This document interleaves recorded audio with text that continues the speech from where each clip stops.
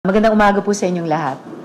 So ngayong umaga, nag-file ako ng Senate Resolution number 867 upang patuloy na himukin ang Malacanang na makipagtulungan na sa International Criminal Court o ICC ukol sa investigasyon nito sa sitwasyon ng karapatang pantao sa Pilipinas.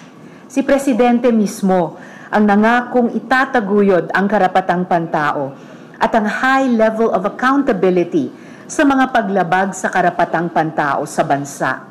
And cooperating with the investigation is the best way for Malacanang to show its commitment.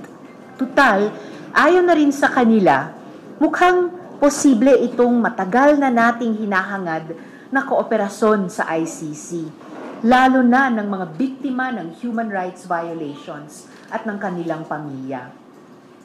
The Philippines has historically been at the forefront of advancing humanitarian law and international justice. And it is high time that we affirm our commitment to these values before the international community.